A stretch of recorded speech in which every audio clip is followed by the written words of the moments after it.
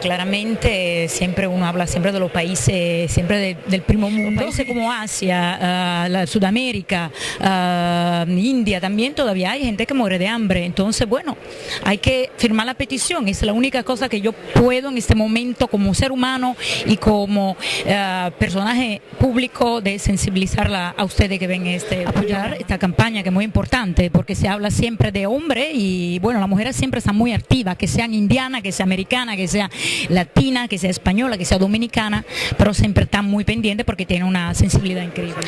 Yo en República Dominicana. ¿Y a qué edad viniste en Italia? Vine en Italia a los 10 años. ¿Y aquí estudiaste? ¿Hiciste la media? Sí, por eso es que Salito habla un poquito español, un poquito italiano, un poquito mix. ¿En qué año te Miss Italia? 1996. ¿Y el hecho que después hayan hecho Miss Italia, Miss Mundo?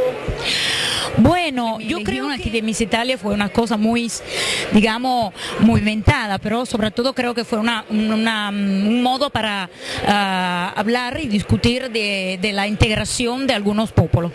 ¿Las italianas un poco miedo de las latinas? Primero, primero sí, primero. Ahora creo que algunas cosas han cambiado. ¿Eras más latina o italiana?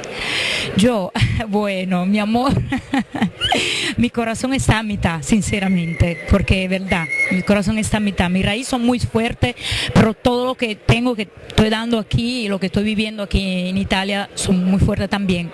Las dos cosas tienen mucho amor. Gracias.